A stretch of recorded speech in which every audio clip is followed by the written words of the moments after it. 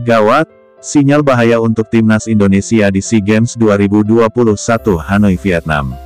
Namun sebelum kita bahas, subscribe, like, channel ini dulu, jangan lupa tekan loncengnya, supaya Anda tidak ketinggalan info seputar timnas Indonesia setiap hari. Yang sudah subscribe, kami ucapkan banyak terima kasih. Semoga Anda diberi kesehatan dan kemudahan rizki. Amin. Sebuah perubahan besar dilakukan timnas U23 Thailand. Pelatih timnas Thailand, Alexandre Polking, dipastikan mengambil alih dari Warrowood Srimaka pada perhelatan dua tahunan tersebut.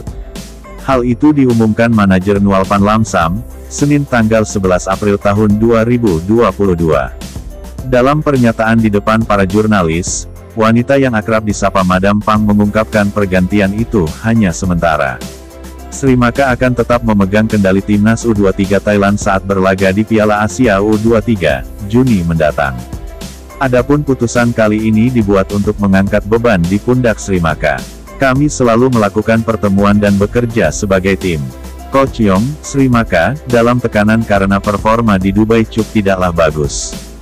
Untuk Mano, dia selalu menunjukkan performa bagus bersama timnas, urai Nualpan Lamsam seperti .com dari Siam Sport. Madam Pang menambahkan, kami tetap menargetkan medali emas. Oleh sebab itu, kami meminta Mano untuk menolong menangani timnas U23 Thailand di SEA Games.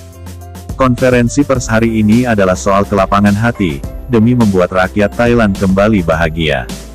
Guna merealisasikan target tersebut, Nualpan Lamsam meminta klub-klub lebih lunak dengan melepaskan para pemain terbaik ke timnas U23 Thailand, untuk berlaga di SEA Games 31.